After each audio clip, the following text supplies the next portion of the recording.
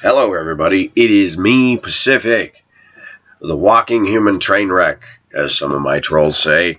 Loser, whack job, geek, nerd, dork, guy that can't get any girlfriends. You know, I've heard it all.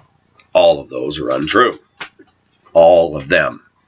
I like trains, but I'm not a train wreck because we're still riding down the rails. We're still pushing that big T handle forward on the locomotive, but I'm more into ships anyway. So we put the helm to full speed ahead and we just keep on going. So, today we're going to talk about man's world. Why? Because I can. Because we talk a lot about women. We talk a huge amount of time spent on my channel dealing with American women, but I want to tell you the difference. I like my job as a school bus driver. I like some of the people I work for. I like some of the people I work with. But there's a lot of people I don't like working for within the organization. There's a lot of people I don't like working with. They're just not nice people. In America, we have a special thing that goes on that if somebody doesn't like you, they have a professional way of pretending that, you know, they, they imagine in their little minds that you can't see what they're doing. And one of the things that I learned going to Hong Kong in 2008 when I chased Beth was body language, something that I had failed to see most of my life. I mean, I saw little glimpses of it.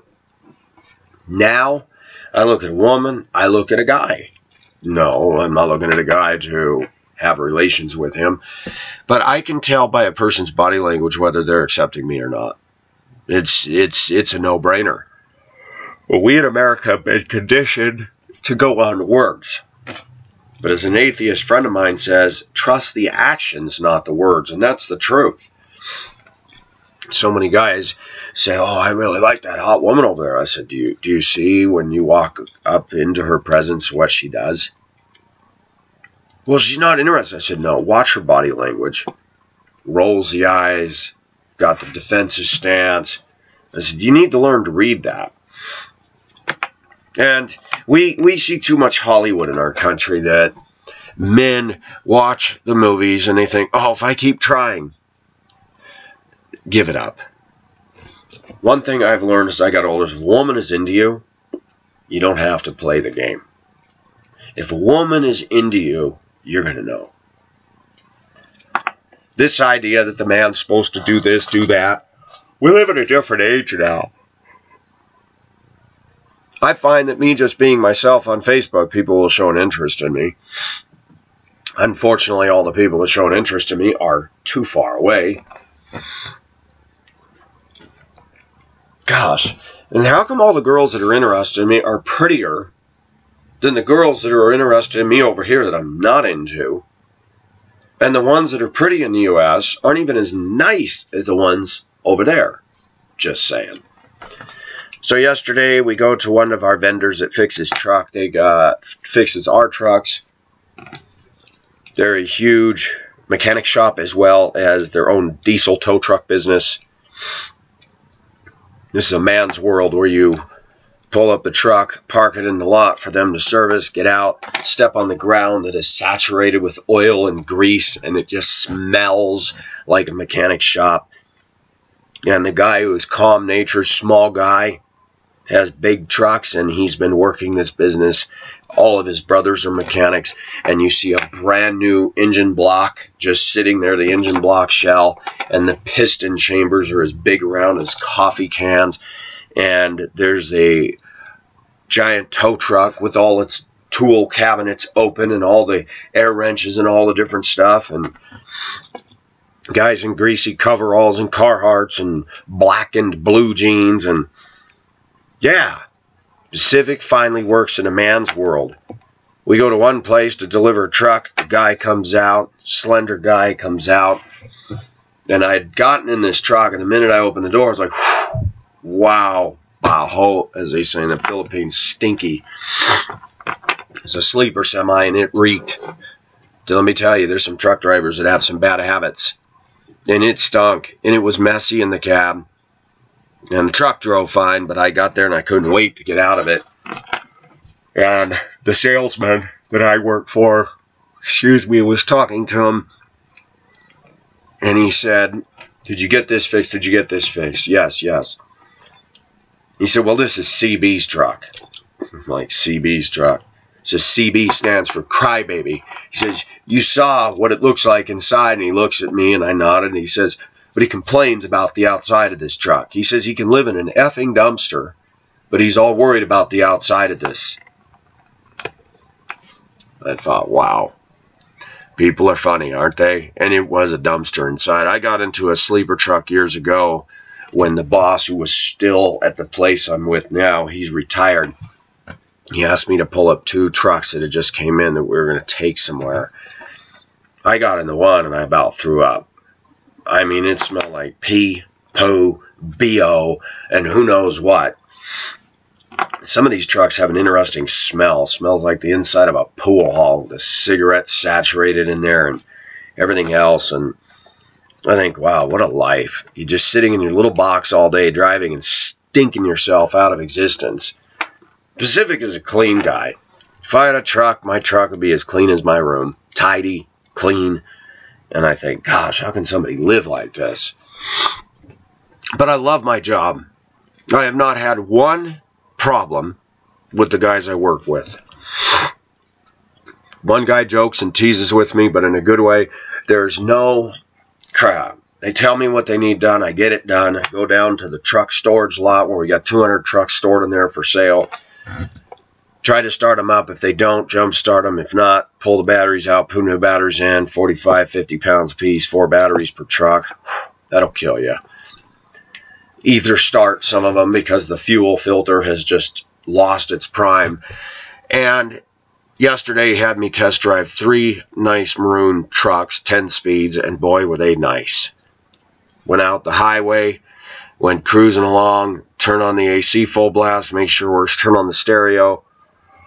But uh, you know, trucking life would be fun. Pacific won't do it because I don't want to drive at night. I don't want to be bound by a logbook, and uh, no, I just don't. I don't want to be going into cities not knowing where I'm going, and yeah, I just it, too much stress for me. I'm getting older. I like coming home every day. But it's a man's world. And I notice that the level of BS that I deal with has disappeared by 100%. Working with women is tough. And I know a lot of women get mad when I say this, but I think ultimately, if we had done what we were supposed to do, I think most women should go home and stay home and take care of the home and take care of their man and let the man go to work. Unfortunately, we live in a society that's upside down, and the cost of living requires two people to work. That if I marry somebody, she's going to have to work. Or if she doesn't, and I'm going to care for her, she better not be a materialistic pig, because I won't put up with it. I won't even get involved with somebody who, you know, is so caught up in the stuff and money. Pacific, would you really take care of a woman? I would. Excuse me, I would do the best I could. I have noticed when you try to follow God's ways, things tend to work. Something most of society never tests or tries to see if it's true, but it, it has worked for me. Where things get out of joint is when I'm walking out of step with God and doing my will instead of His. I run into roadblock after roadblock, like chasing Beth in Hong Kong. Oh, yeah, He let me go over there, but there was problem after problem after problem when he allowed a snowplow to hit me in Montana. That redirected me right down here. God provided a place, God provided a job. Yes, my son has hit a lot of bumps, but there is some improvement. When you do what God wants you to do and you're where you're supposed to be, you have peace. Things tend to work. I'm not saying it's perfect. I'm not saying you won't get persecuted. You'll still have your struggles and problems. But Pacific is proud to say to his viewers, I'm glad I played the man and stayed here. You're not going to let Colorado and Denver butthole culture run me out. I'll go when God says, now you may go. And when God leads you into or out of a place, it's far better than you yourself packing up and going there by yourself. because I still come back to this. Unless the Lord builds a house, they that labor to build it labor in vain. Whatever you set out to do, Christian, if it is not the will of God, it will go. It'll be a sandcastle with the first wave. And, and it's true. I can give you testimony of my own failed experiences where I ran out in my flesh, in my strength, did this, did that, and failed. When you do what God wants you to do, the consistency of following God and submitting to Him.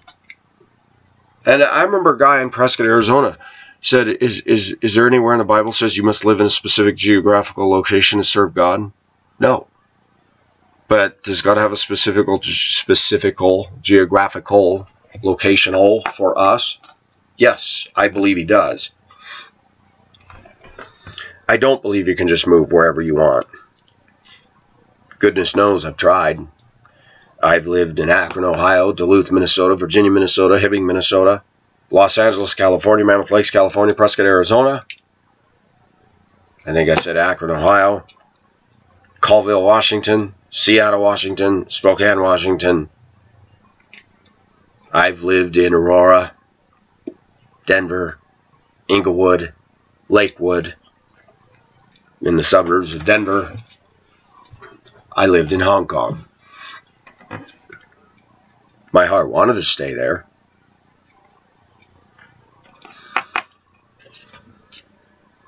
I like being in a man's world because you can go to work, you can do your job, and you can leave, and there's nothing hanging over your head. You don't have to worry about being called in the office. We have one female secretary.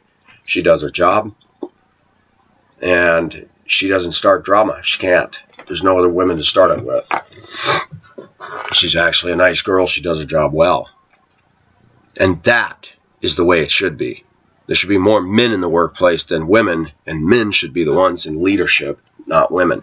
Call me chauvinistic, call me misogynistic. If that makes you feel better about yourself, go ahead, but it's simply not true.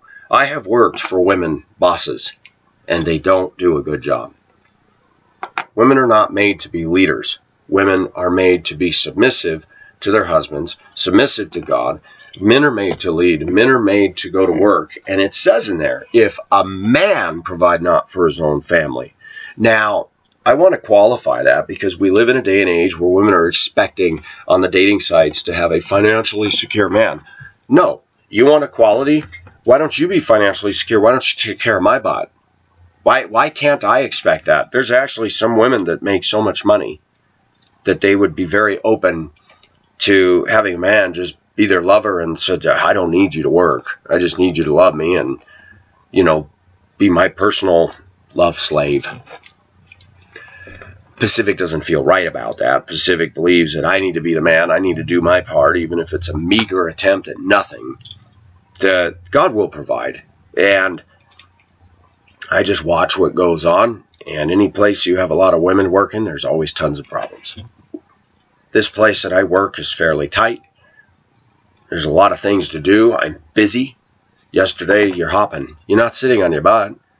The boss said, You're allowed to take a lunch. I said, No, I work six hours, I work straight time. And that's the nice thing. I'm not required by this because I'm contracted. I'm not required to take the mandatory 15 minute break, half an hour lunch. I can go and just work like a dog.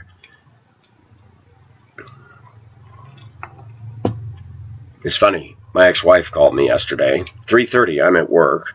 I answered the phone because the sales guys call me to ask if I can go stop by this place or that place if I'm running around in a truck and get something that's en route. And she says, I have a flat tire. Now, I admit, my first instinct is, and I'm not your husband. Why are you calling me? I said, Where are you? She told me where she was. I said, Do you have a spare? No, I don't. I said, There's nothing I can do. I said, Take your car, put it in drive, and slowly creep it off the main thoroughfare where you're at and get it safely out of traffic. That's one. Two, you're going to have to call a wrecker. And I said, if you had a spare when I get off at four, I can come down and we'll change it out for you. But if you don't have a spare, there's nothing I can do. You know, I said, I'm not going to leave your car on a jack and walk away from it while we go get a tire repair. I said, that's, I don't think that's a good idea down in that neighborhood. A Christian man actually stopped and assisted her. Changed the tire, found that she had the donut underneath the mat in the back and in the trunk and changed it for her. And I said, go to Discount Tire and go get a new tire.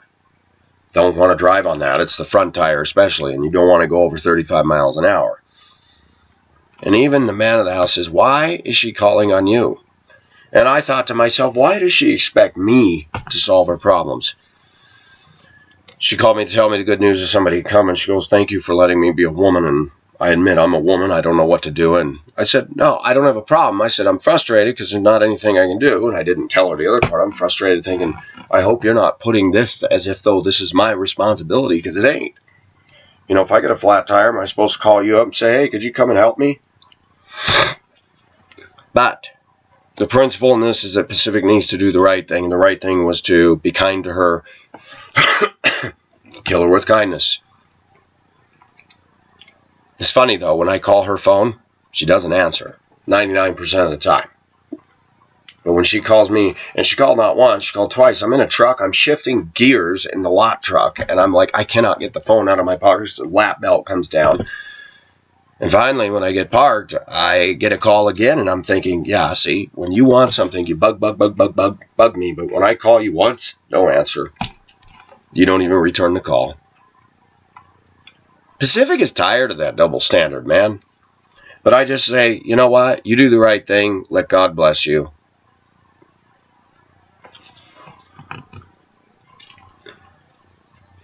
It's funny. Sometimes Christians can be a pain in the butt. Come home, told them what happened. I said, well, God provided for her. Guy stopped. He was a Christian man. Changers. So you think God provided? I said, yes. He sent somebody to help her.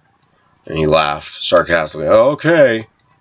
I said, Don't you have faith?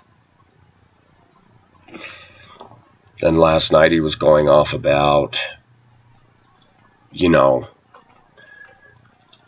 just some mystical weird stuff. And I said, You know, I don't believe in that. And he said that a prophecy, a guy told him at church he's going to live to be a 100. And I'm being polite because yesterday was his birthday and we celebrated his birthday. And I, you know, it's funny. He'll put stock in things that I just don't believe in. But then when you see God answer prayer, that even for her, even though she's a problem, she's a child of God, and God helps those of us that are His. And that's something we all need to keep in mind. Always remember, viewers, that that person you can't stand that's a Christian, God loves that person just as much as He loves you. That's you have to tell yourself that out loud, and it will shock you.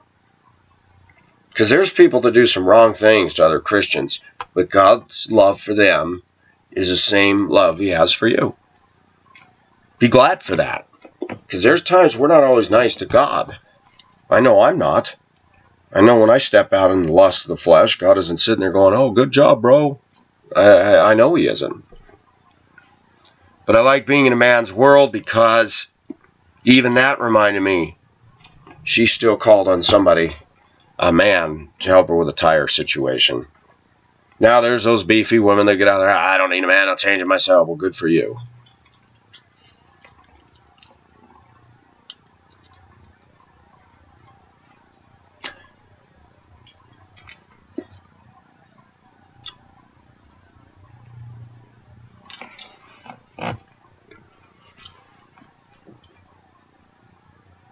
One of the guys I work with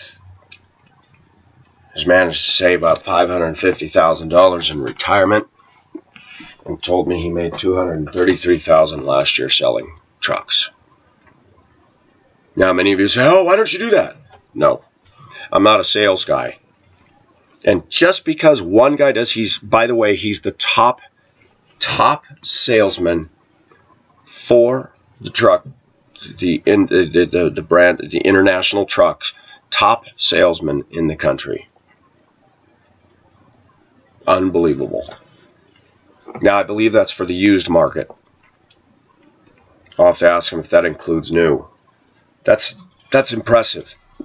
And you know why he's successful? I said, so what's the secret to your success? And he says, do you see when we went over to this guy's place today? He said, when he's had a problem with a truck, I get it fixed for him. I take care of my customers. I don't just sell them a truck and walk away. He said other salesmen will do that. He said, I sell them a truck, I make sure it's good, I massage my customer base, and they keep coming back to buy more. He said he's got FedEx contracts. He's got all these different contracts, and he can't get enough trucks. His business is growing. If I can make him happy and I can give him reliable customer service, he keeps buying. And he said, that's the way it is with all my customers, man. You know, and that is ultimately how we're going to win people to Christ. Not this fake, hey man, do you know that Jesus died for your sins, man? You have to have a relationship with somebody. You have to show a consistency of caring for somebody. And when they finally laugh and mock at you one too many times, when they go on hard times, they're going to remember you were there. And the Holy Spirit could use that to reach them. But I learned a lot in my day to day world. I learned a lot. It's been raining so much, these trucks in storage have been sitting for quite a while that the brakes rust and stick to the inside of the drums, and I have to get a long metal bar and a small sledge and tap the outside of the drums to release the brakes. And uh, it's funny, one day I couldn't do it, and I put it in reverse, put it in drive, and that one wheel stuck. And what I usually do is I put the truck in reverse and just gently nudge it, and I'll hear click, and then I go forward and it's done. But some of them have been stuck, stuck, beat on it several times, and then finally it releases. But yeah, it's interesting work. Um, virtually everybody I deal with out there is in the truck business. It's all truck business. It's all heavy equipment. It's everything. It's Commerce City. And what is interesting is that um, my dealings with men, there's none of the BS. Do my job. I like it. They're happy with me. People greet me. How you doing? They shake my hand. It's like, wow, what is it about a bunch of women in a workplace that can poison the place? Yesterday, they hadn't done anything, but I I did. I removed some people from my Facebook. I just didn't unfriend them. I blocked them, moved them. I thought, you know what? I don't want my female coworkers in here. There's a couple in there that are safe. They're not connected to all the drama and stuff. But I just removed them. I thought, you know, Pacific needs to have his place where his coworkers are just not in it. And uh, yeah, I do things that are unconventional, but it's like, you know what? I live the culture that I work in. excuse me. Most of what I talk about on YouTube would offend them profusely because the very things that I talk about is the kind of crap that I hate. And the work culture I'm in, and the bus place, a lot of those people are guilty as charged. And uh, it's not that I'm afraid of them seeing my views. It's just that I feel like, you know, there's just some people that don't belong in my inner sanctum. I want to thank my viewers that have been writing me personal messages telling me don't let these trolls get to you. Dropping names of quality people on my channel that make very good comments. Schultz's name was mentioned, several others. Pyramid had others because you guys are clear thinkers. And there was a whole bunch of people mentioned by this one individual that I don't want to call him out and embarrass him because he didn't give me permission to do so. But he was praising the channel, saying, You have helped me to grow as a Christian. I think, really? Even with all my struggles? It's amazing.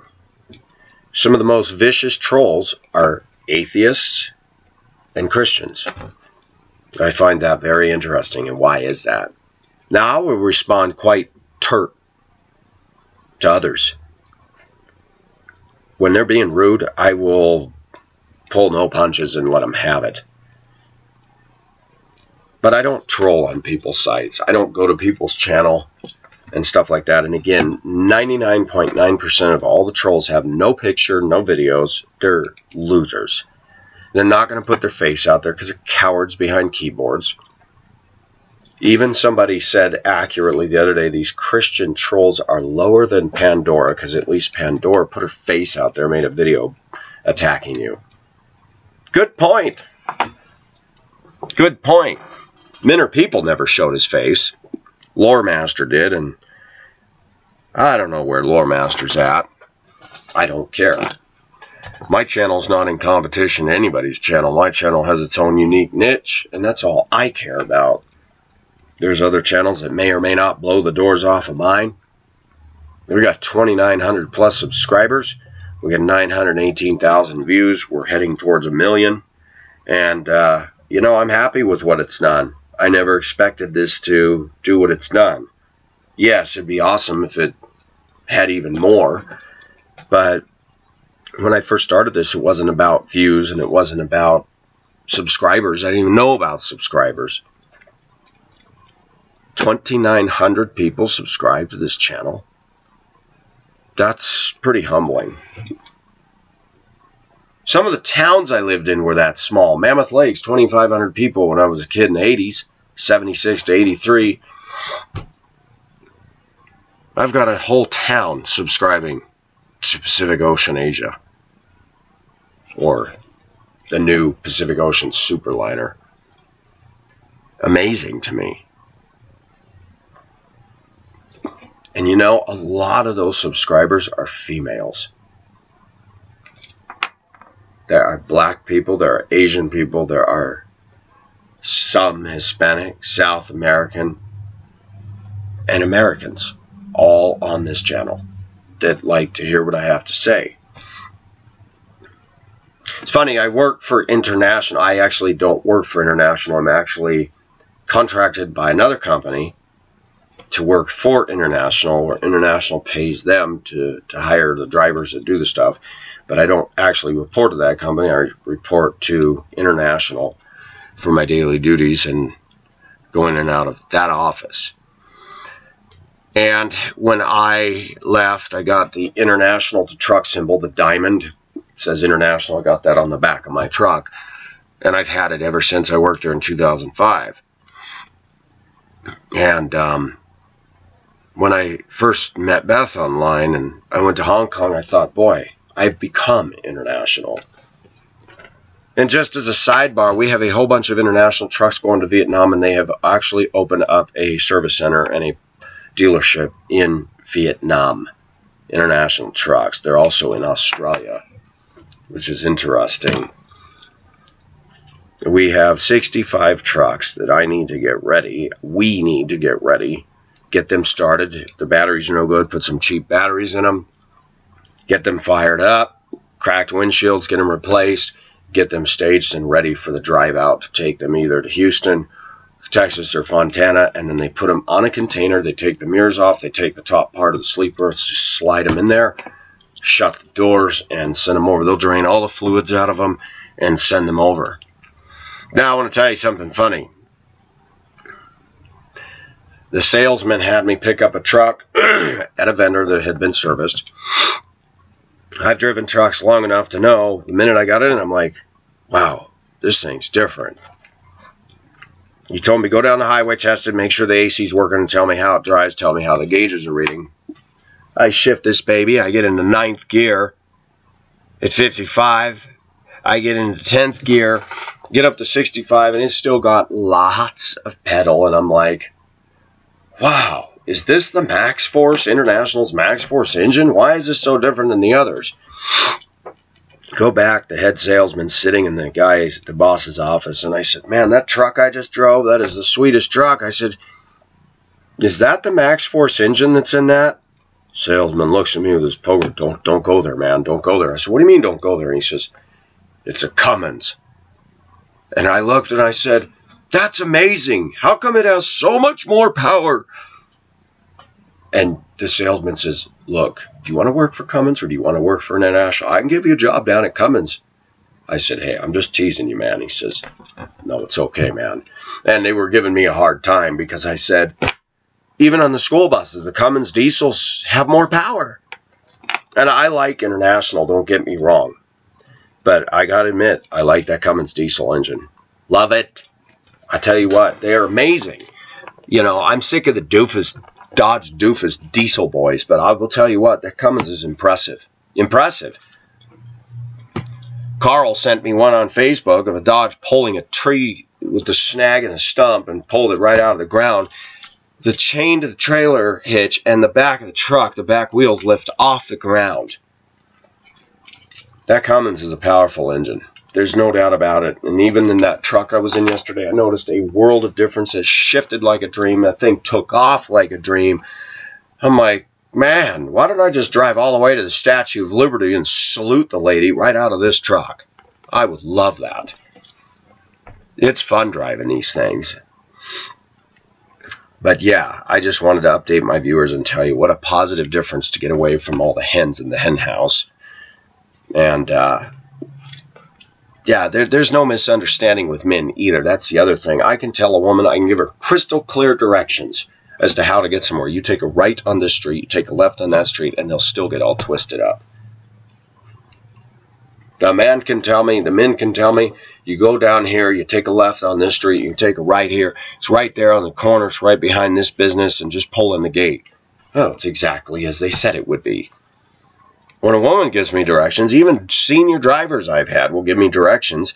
They tell me to turn right here. I turn right there. It's a dead end. I'm like, Ugh. I turn around. I go, they probably meant left, huh? And I go left. Yep, there it is. Every time, almost every time, a woman's giving me directions, they've been bogus. There's only one I can go to that gives me good directions. A female that gives me accurate, good directions. And believe it or not, she's from Minnesota, but she knows the city of Denver like the back of her hand. It's been good to get out of there for a couple months. It's been good to do something different. But yes, I'm tired at the end of the day because it's it's hot and now the rains have quit and it's hot weather now and out there with very little trees and but most of the time I'm in something. But when I'm working on the lot and getting those trucks ready, what a pain. We have a lot truck, four banks of battery on the left, four in the back with a reading utility body and the storage cabinets for the tools and the ether and the tow ropes and everything else. And um, that truck will jumpstart anything, even when it's butt freezing cold. We got a plug-in that we can plug that into the 120 and charge both banks of batteries. It's got a diesel fuel tank on the back. It's an 80s Ford truck stick shift, four wheel drive, and it rides like a buckboard, and that truck continues to just run. Gas engine. And I'm like, wow, that was there in 2005. And it was sad when I got in it for the first time Thursday. I said, man, I miss my boss. He and I worked so good together, and he's retired. And I called him the other day. I said, okay, you're going to think this is mushy, but I got all sad when I got in your truck, and you're not there anymore, man. He's an atheist. He cares. He's been a friend. I've met his wife. I've worked for him in his mountain property, getting slash out of the woods. He's been creating a fire zone around his house because of the forest fires that we do have in Colorado. He's getting the trees away from the perimeter of his house. As he lives on a huge acreage with a lot of beautiful pines, and I drag those down to the road where, in time, he will load them on the truck and take them to the uh, limbs and tree drop-off area for his county. But yeah, a snapshot into Pacific's world. I like driving the bus, I really do. But it's nice not to have to deal with mouthy teenagers. It's nice not to have to deal with the drama in a break room. It's nice to go to work, do your job, go home. And people say, see you later, man. Have a good evening. Thanks for your work today. Thanks for your help today. Every day. For all the crap that I hear women say about men, I have never heard a woman tell me that her job with all her female coworkers has been a great place to be. Never. The men I work with are happy. They're doing their job and they love their job. a lot of the women I've met in life, they're not happy and they will sit there and pick and poke and cause drama and problems and undercurrents.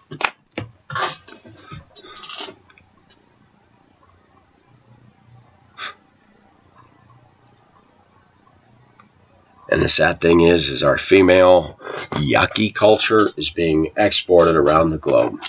Hillary Clinton goes to China to teach the women to be more feminist and liberated. We're seeing more tattoos and more piercings and more queer, weird stuff. I mean, I'm looking at pictures of women from India this morning. They're beautiful. But American women and their tattoos and piercings, they need to take a lesson from the people across the ocean. If they're going to do it, at least there's a classier way to do it than they do. I see more women in Denver that look like somebody just took a can of spray paint and went like this all over their body. And I'm like, you, you paid money for that? You, you look like an alley ghetto wall. Fish hooks in the lips. Even the women in India don't do that.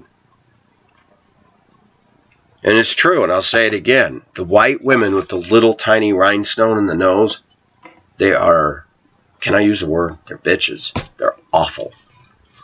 And I'm starting to come more and more to the conclusion that women like that are probably lesbian and just hate men and will never come out and say it, will never come out. I see that with people that I know, and it's like, wow.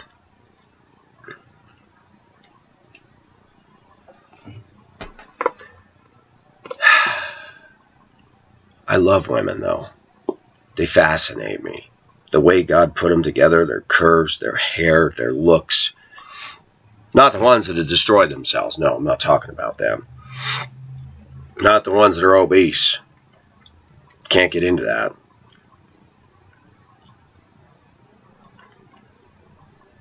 Somebody made a good point the other day.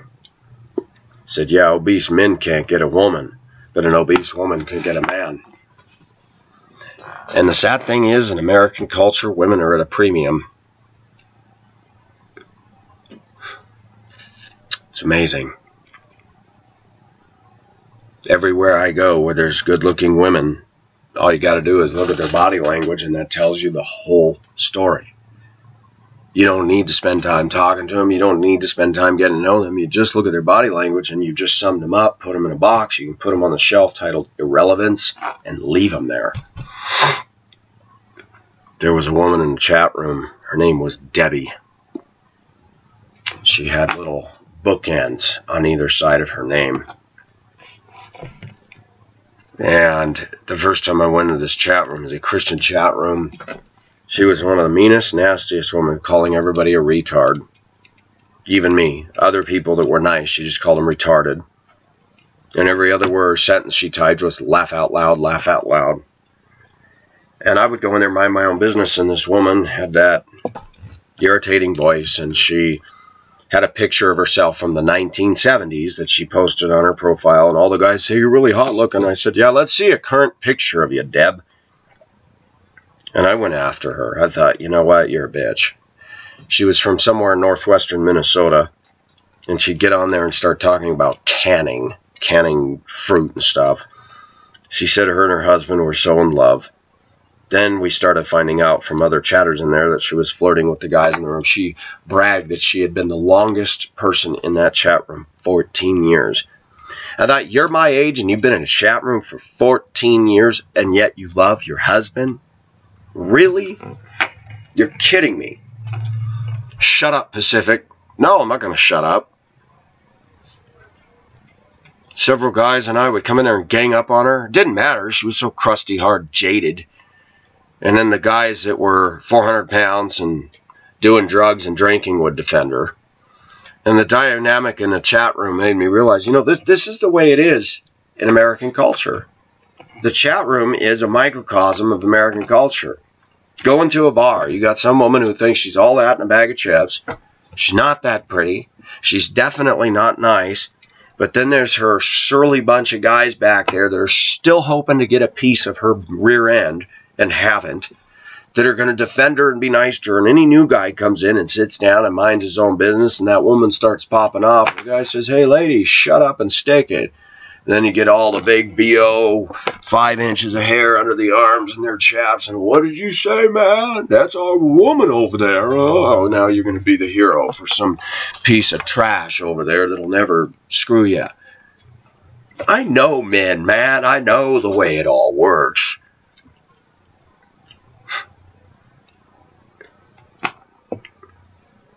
I'm going to be very honest now.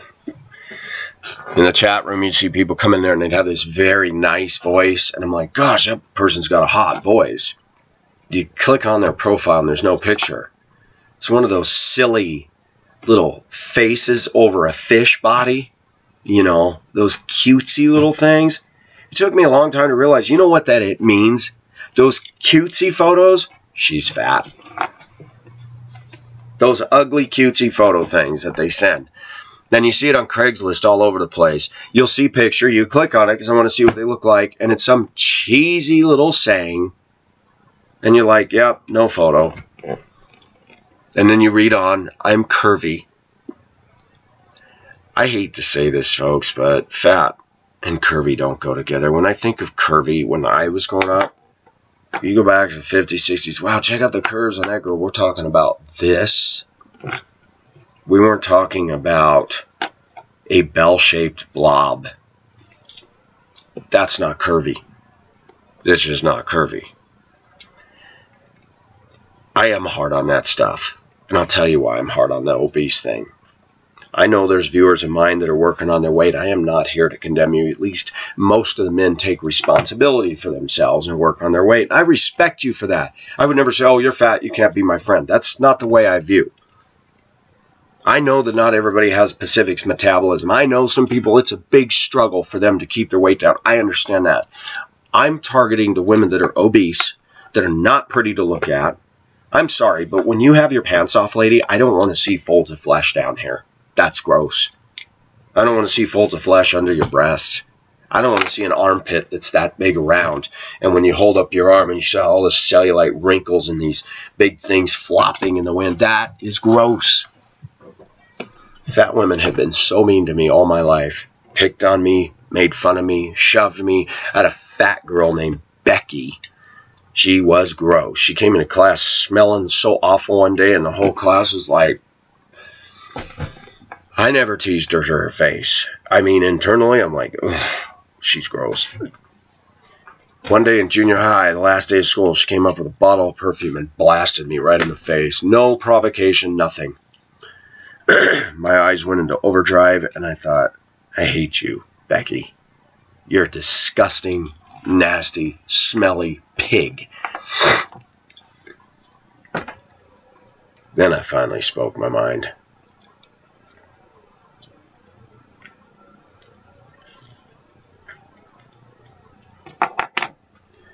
Fat women, all exactly the same. They all got the same attitude, they all got the same silly justification for why they're fat. They all still got the same old attitude.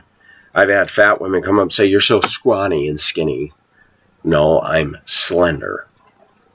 Well, let me show you pictures of scrawny. I've seen scrawny kittens where you pick them up by the fur and it's all fur and the rest of the body's hanging down because they're so little. I'm not like that. I am height, weight, proportion. I'm lean.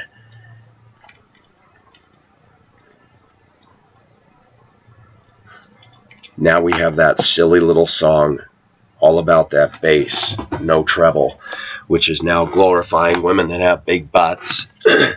and I want to say something very pointed from a Christian perspective that we are all shaped and look differently.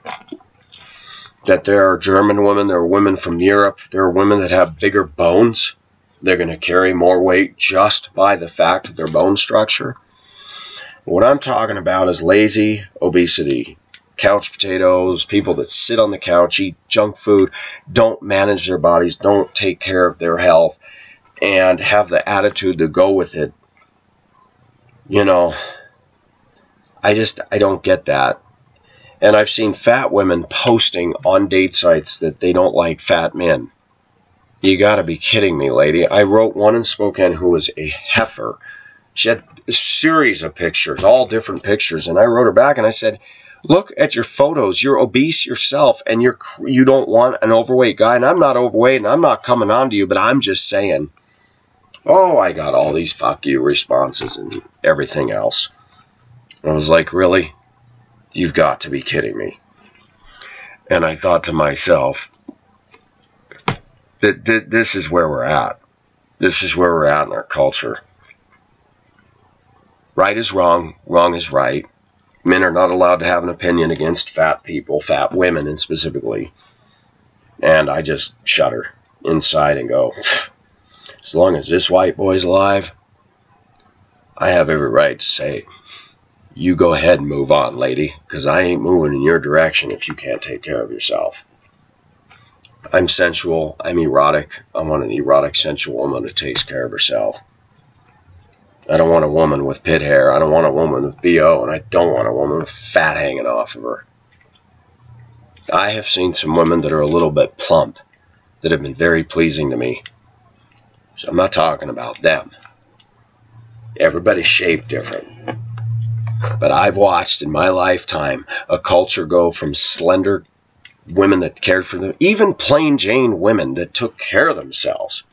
I find myself so aroused by a plain Jane, small breasted female who's clean and smooth under here, who smells good, washes her hair. I'm like, gosh, you're hot.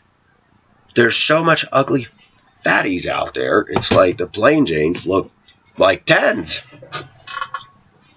Sadly, some of the plain Jane girls are some of the nicest girls you'll meet. When I was a kid in school, I actually got along with the tomboy girls. No, they weren't lesbian. They weren't dykish. They were just like to wear blue jeans and play in the dirt with us guys, and they were still foxy to me.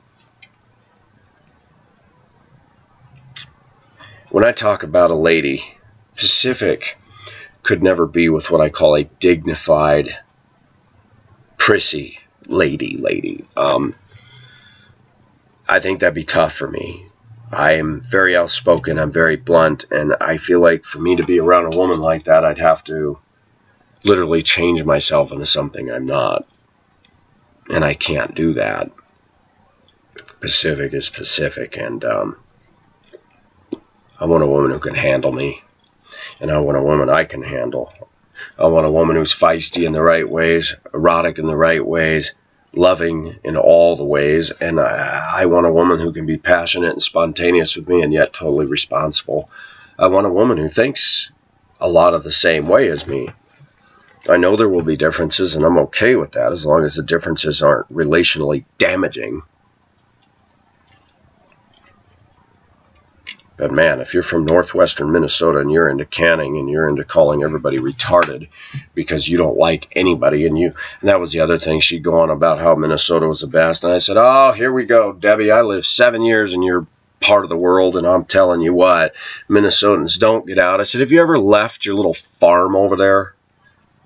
Shut up, Pacific. Uh, answer the question. Have you ever been out of there? Have you ever been anywhere? And she used to make fun oh yeah, Pacifics and all these geeky Asian girls and these Asians, they're so gross and they're so dirty. And I said, yeah, Debbie, when's the last time you posted an updated picture of yourself? You're probably 350 pounds and having everybody believe you look like Olivia Newton John in the 1970s. I couldn't believe the stuff that went on chat rooms, the meanness, some of the sarcasm and the satire I got came from being in there. It's like, wow.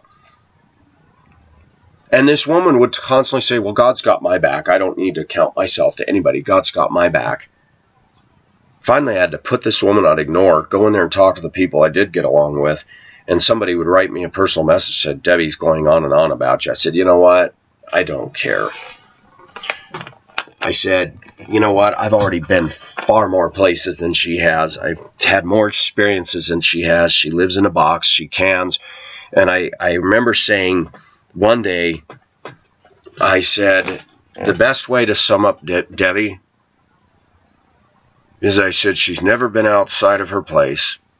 She says she's happily married, but yet she spends days and nights every day for 14 years in a chat room. She talks about her canning. She criticizes everybody she doesn't like and declares war on anybody that comes in this chat room that she doesn't like. I said, Debbie is one of those you can put her in a box, write on the box irrelevance, and stick her on a shelf in a canning cellar in Minnesota and put a date on it, and in 20 years it'll still be there. Everybody in the chat room laughed when I said that except her. Shut up, Pacific, shut up, that, that, that. Yeah, I gotcha. Touche, pussycat. Chat rooms are awful. 2012, Yahoo shut them down. They were also a hotbed of iniquity. I had asked myself many times, what is it about the computer and the cams that people just felt so comfortable with perfect strangers just disrobing, taking off their clothes, Unbelievable. I participated in that. I thought it was fun. And yet I look back and go, you know, if you go back 20 years before that and somebody had told me this was going to happen, I would have been appalled. What? Are you serious? We are the frog in the kettle.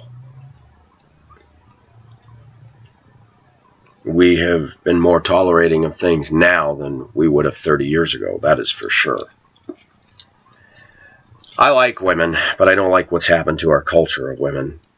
I don't like it at all. And it's nice to work in a workplace where I can see a huge stark difference that there's none of this emotionalism, there's none of this worried about offending. The guys are blunt. They use language. And I know that as a Christian, we're not supposed to do that. But I'd rather work with a bunch, bunch of guys that don't beat around the bush, that are straight shooters, than a bunch of women playing the pretend game and then stab you in the back, talk crap about you when you're not looking. And uh, if one of those men has a problem with me, they're going to let me know right now. They haven't, because there hasn't been a problem. I was thinking of my son the other day. I thought, oh, I wish he could spend just a week in this world, toughen him up a little bit and say, look, you've been around women too long and you're getting too sensitive.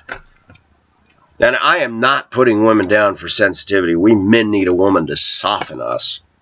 But the problem with a lot of American women is they want to turn us men into little girls, and I won't have it. I won't. I don't want a woman who's going to control me because I'm not into controlling her. The best analogy I can use to view a good marriage is a team of draft horses yoked together, side by side, running in the same direction together. That's beautiful. Most marriages, you got one pulling to the left, one pulling to the right, and the kids are the ones in the wagon, and the wagon's going like this, and those kids are getting jerked around. Don't you think there's going to be some damage when they're banging their head back there over and over? That's why when you date, when you meet women, you'd better make sure you're yoked the same way here, here, and with regards to God. Compatibility heart connection. We guys in America make too much about looks. I'm guilty as charged. I'm not saying the three women that I was involved with were hotties. They weren't. I've always lowered my sights because I said I'm not going to be able to get those hot girls ever. But the more years go by, I start to realize these girls they may be hot on the outside, but they're not hot on the inside. They're dead. What makes them excited? Another trip to the mall. Text messaging. I mean, it's ridiculous. Most American women today, there's no mystique to them. There's no mystery. There's no depth. There's nothing there. That every one of them, I, I like when they say, You don't know me. Oh, I know you very well, honey. Your name's different your background's different, but you're just like every other female out there. You all have the same grid of thinking. You all get caught up in debt. You all get caught up in SUVs, dogs, lattes, malls. What is there to know that's different from everything else? And that's why we need to pursue God because you can know a car, you can know ships, you can be an aficionado and an expert of things, a historian, but it has its end. God's ways are beyond finding out. We cannot put God in a box. And that being said, that's why we need to pursue Him. He is the ultimate fulfillment of everything that we're just empty inside of.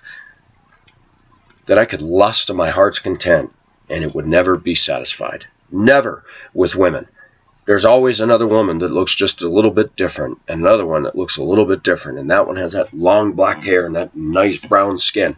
And then there's that pasty white one that's still hot. I mean, God has made women in such a way that this idea that you're going to meet one woman and she's going to be the Taj Mahal of all your sexual fulfillment, no. That's a lie. Any one of us can be tempted, even if we're married to the most beautiful, sweetest, charming woman out there. So if you're looking for marriage to get control of your sexual urges, it won't happen. Because once you do her, you're still going to be going down the street and pretty woman walks on by and you're going to look. I'm amazed at the diversity of beauty alone. And there's nothing wrong with admitting that. But marriage changes things. You're supposed to have eyes for your woman. And it's tough. You will have a fight on your hands because when you marry her and you start settling into a live in relationship, things get old. The honeymoon wears off. And what do you have to carry you then? You're going to have a woman that bitches at you when she catches you noticing a scantily clad woman walk down the street? You don't need that. You need a woman who has understanding of you and still loves you. But you need to have enough together on a relational level even though the honeymoon wears off physically, that you still love and adore her and stay true to her. Sometimes, now that I'm getting older, I stop and go, Do I really want to be married? I've had three failed ones. Does marriage, would it actually benefit me?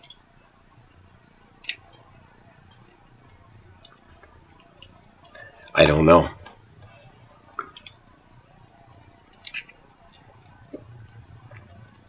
Yes, there are women I flirt with. Quite a few of them. Not here, but people that I know on Facebook, whatever, but I don't lead anybody on. I've mentioned Maharani. I like her. I adore her. But it sucks. She's there and I'm here. And many of you say, just go over there and see her. I can't. She lives with her parents. I'm not going to go get a hotel for two weeks where I can only see her maybe when she's sneaking from university to see me. I mean, it's ridiculous. What's the point?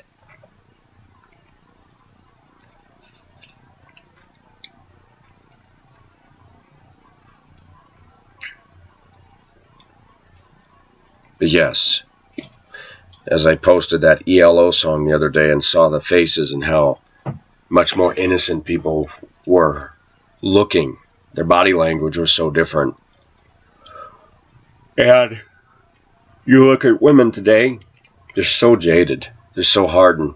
Even businesses I go into where a young woman sitting at the front desk who's in her 20s, they're so jaded. And I look back when I was in my 20s and the women were not like that but they are now. It is. It has definitely changed.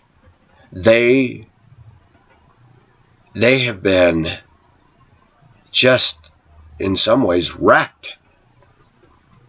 Their innocence is gone. The sweetness is gone. And it's it's crazy. Anyways, Pacific likes working in a man's world. I gotta go make breakfast and get ready to go. But um, yeah. I love women. But I think there's a time and a place for women. But men, when they go to work, men need to be in a man's world. Need to be able to come home to their wife and have a good relationship with her that doesn't involve work, that doesn't involve break room drama. That's just my opinion. I understand that we live in different times. I understand that women have to work for the nitwits to get on my video channel and say, ah, why do you say all Chinese are like this? Did you hear what I said at the beginning? My caveat, disclaimer, not all Chinese are like this. Not all women are like this. I believe that women have to work today. It's the way the, the, the corporate mentality is, the way our country's set up, unless a guy's pulling down a good income. And for you women that are looking for a man to financially take care of your butt, I think that you've got the wrong perspective. You need to fall in love with a man because you love him and let God be your Jehovah Jireh. Your man is not your provider. Your God is. Supposed to be. Too many marriages are based on how much a man earns and what his titles are and whether the family approves or not. And that's why 50% of all marriages end in divorce because they're not marriages of the heart.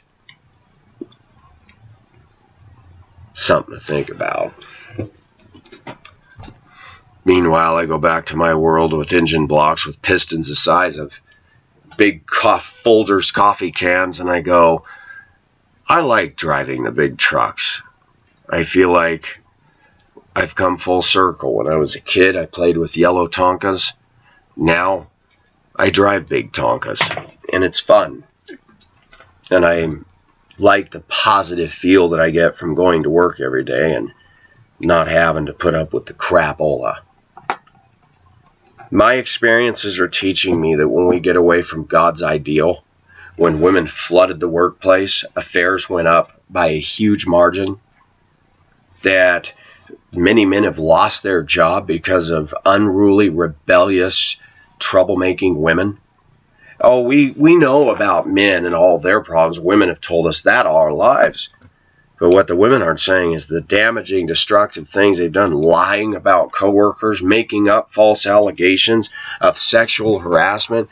I've heard a story. A guy went up and told a woman, I like your outfit. She went and promptly complained. The guy was called in the office. You do that again, you're fired. He commented on your outfit, not your boobs. Wow. And yet women dress in such a way that you can't help but look at their boobs. And then they get mad if you do. Women are funny in this country. The hypocrisy in them is off the frickin' charts. no, Pacific doesn't hate women. I have a lot of women on my channel. And there's women on my Facebook. And they know I don't hate them. But boy, our culture of women leaves a lot, a lot to be desired. And you ain't going to find it in them. You just not.